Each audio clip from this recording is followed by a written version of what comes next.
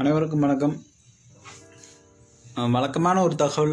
இருந்தாலும் அடுத்த ஆறு மாதத்தில் ஒரு சட்டமன்ற தேர்தல் வர்றதுனால இந்த சொரணையற்ற இந்துக்கள் கொஞ்சம் புரிஞ்சுக்கணும். சர்வதேச அளவில் பிற நாடுகளில் இந்தியர்கள் ஒரு ரெண்டாயிரம் பேர் வசிக்கக்கூடிய நாடுகளில் கூட இன்னைக்கு அந்த நாட்டு தலைவர்கள் வந்து மரியாதை நிமித்தமாக அவங்களுக்கு வாழ்த்து சொல்லிட்டாங்க.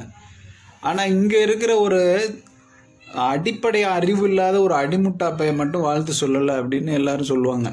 அதை அப்படியே சொல்லிக்கலாமே. ஏன்னா அவர் பெரிய மேதையா அவர்.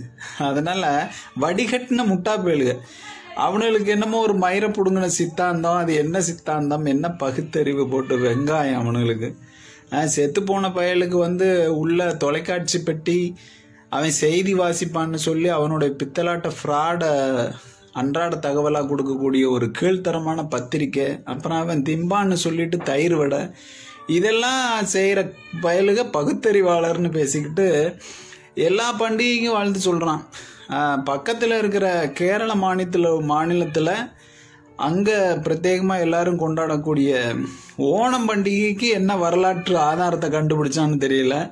அப்புறம் இங்கே சிறுபான்மையினரோட பண்டிகைக்கெல்லாம் வாழ்த்து சொல்லுவான். நம்ம அதை பேச வேண்டிய அவசியம் இல்லை. ஏன்னா அவர்கள் வந்து உணர்ச்சி பூர்வமாக வெக்கமான ரோஷத்தோட சிறுபான்மையினர் இருக்கும்போது இந்துக்கள் மட்டும் மானங்கட்டு போய் இருக்கிறதுனால தான் தொடர்ந்து இவன் வந்து புறக்கணிக்கிறான்.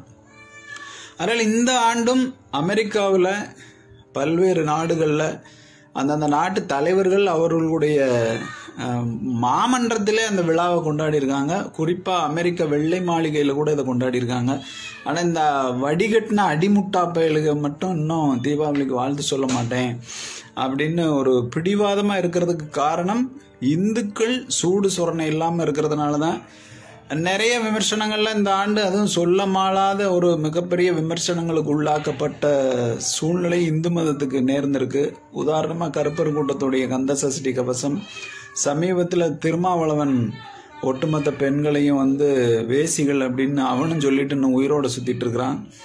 அதனால அந்த மிதப்பு என்ன பேசினாலும் இவங்க வந்து இரநூறுபா கொடுத்தா கூட்டம் கூடிடுவானுங்க ஆயிரம் கொடுத்தா ஓட்டு போட்டுருவாங்க அப்படிங்கிற இந்துக்கள் மேலே அவனுங்களுக்கு இருக்கிற ஒரு ஏளனம். அதை நாம தான் புரிஞ்சுக்கிட்டு வர்ற சட்டமன்ற தேர்தலில் அவனுக்கு சரியான பதிலடி கொடுத்தோம்னா அடுத்த வருஷம் கண்டிப்பாக வாழ்த்து சொல்லுவான். எதிர்பார்ப்போம். நன்றி வணக்கம்.